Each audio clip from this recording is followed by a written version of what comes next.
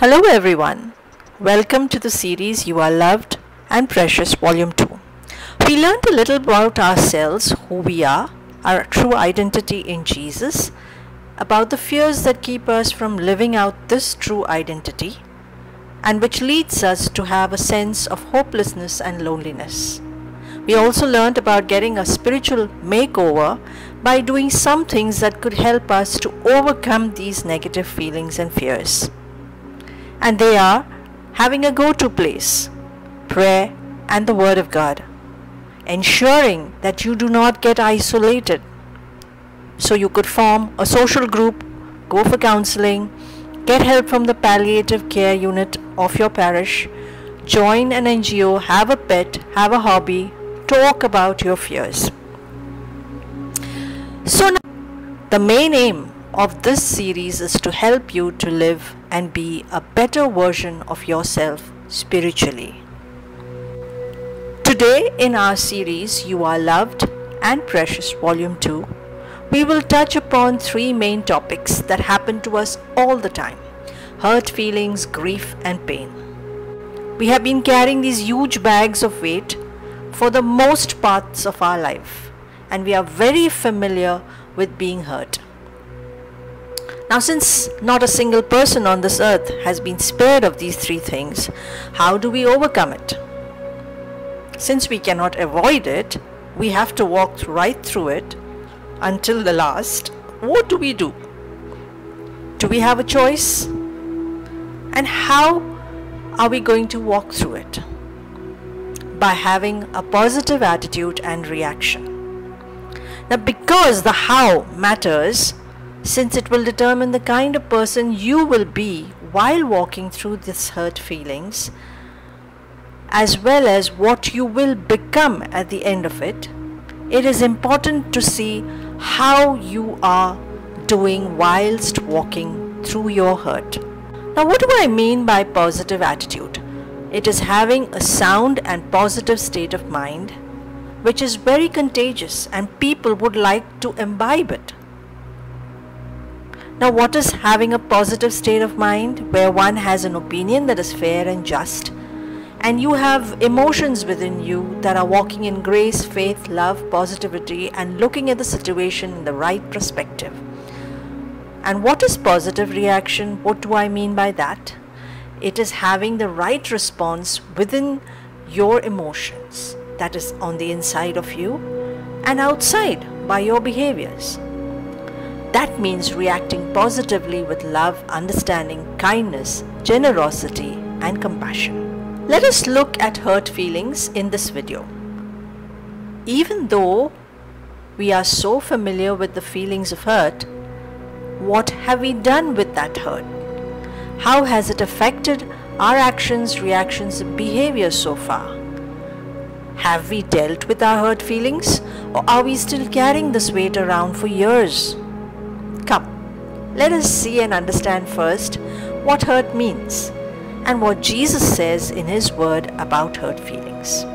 Hurt feelings means an unhappiness or sadness which is caused by someone's words or actions, which further develop a reaction within you or an action within you of anger, retaliation, bitterness, hatred, and even murder and slander. All of us are hurt in some way or the other. We need to check who are these people who have hurt us, especially when it is not your fault. Now, when you see them, how does it make you feel? Do you feel rage? Do you not like seeing their faces or talking to them? Is there violence and abuse in that hurt? So the question is how many years are you going to carry this baggage? Do you want to get rid of your hurt feelings? Maybe the people who have hurt you are not alive anymore. But we are still living a bitter life. Today, let us courageously drop this bag down and release it to Jesus. Let us see what the word says about hurt feelings. Ephesians 4 26 27. In your anger, do not sin, and do not let the sun go down while you are still angry. Verse 27 Do not give the devil a foothold. Now, why does Jesus say, Do not give the devil a foothold? It is because if you do, he will come with a load of negative feelings to hurt you deeper. So, now how can you help yourself against this onslaught from the person who's hurting you and the devil? It is by having a positive attitude and positive reaction. What should your attitude be when someone hurts you? Jesus didn't say do not get angry. He said do not let your do not sin whilst you are angry.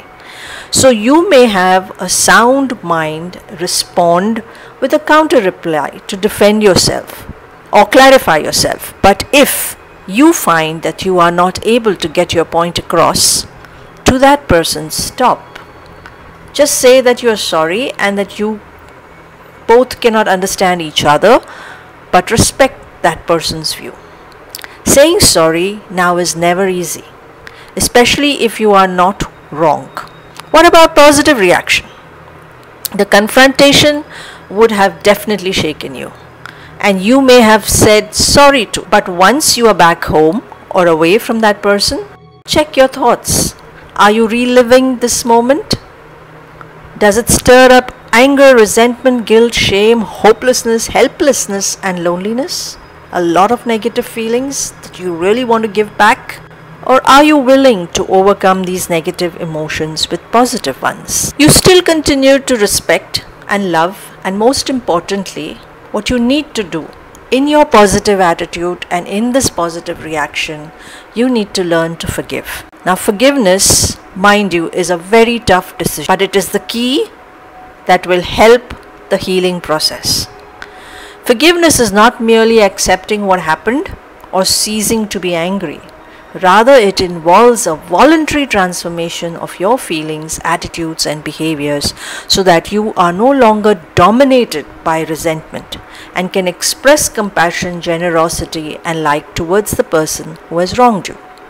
Therefore, it is a very tough decision. It's one of the toughest decisions that you will ever make in your life more than a decision to get married, more than a decision to make money, more than a decision for career.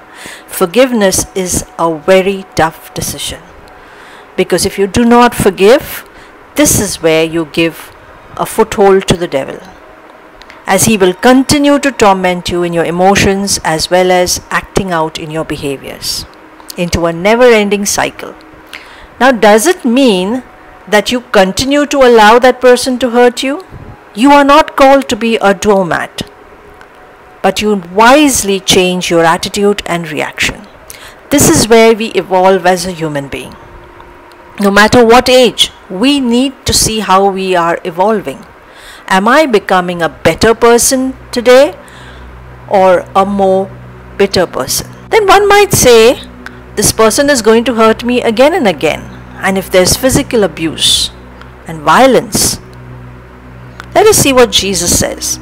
Jesus said in Matthew 18 21 to 22, I do not say to you seven times, but up to 77 times. My gosh, can you imagine this? Is Jesus being mean? That means for infinity we have to learn to forgive. Jesus doesn't understand our hurt, does he? Definitely not. In fact, he wants you to forgive until that person can no longer affect your reaction and attitude. We have all experienced this feeling. Forgive you? I guess so. But I cannot forget. Let's be real, not in this lifetime. Haven't we heard ourselves say this so often? We are unable to forget. In our heart, we say we have forgiven, but we are unable to forget. And why is that? I have a beautiful example of a bee sting. When a bee stings us, it leaves a sting in, inside our body. And as long as the sting of the bee is within your body, that portion will be swollen, very painful, will be red, and will start oozing with pus. Until and unless the doctor makes an incision and removes the entire sting, that swelling, that redness, that pain, that pus will not stop. In the same way, Forgiveness is that balm, that action where you remove the sting. You will never forget the incident, but that incident, when you remember, will never evoke in you a sting of bitterness. And with that, let us always remember we have God's word to rest in and surrender our hurt feelings to Him through counseling and through the Word of God. We now end this topic and we meet again in our next video on grief. Thank you for listening.